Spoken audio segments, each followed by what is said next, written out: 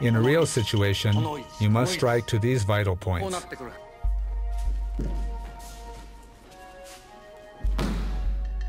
You have to have already defeated your opponent before being touched. You can't attempt to grab after being struck. At this stage, we bring him here.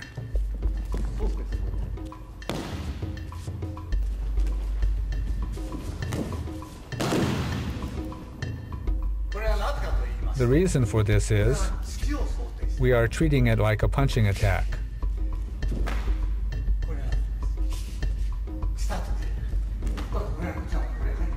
We already enter. This is how we deal with the punch.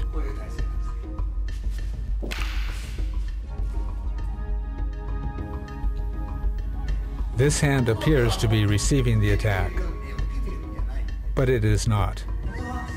We enter like this and can execute these atemi strikes. The attacker comes and we can immediately execute atemi. If the attacker comes really hard, we lead him this way. We execute the technique in this manner. Usually in Shihonage, you enter this way. That's the way it's normally done. We do it like this.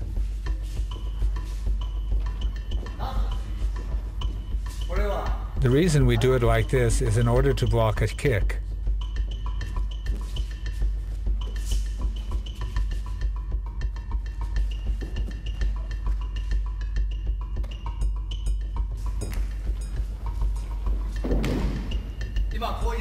Now I threw in this way.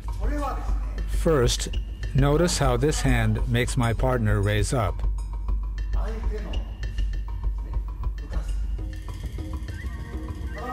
Using this hand, we prevent the opponent from kicking. By doing this, he is not able to kick. Actually, my raising my hand here prevents him from striking.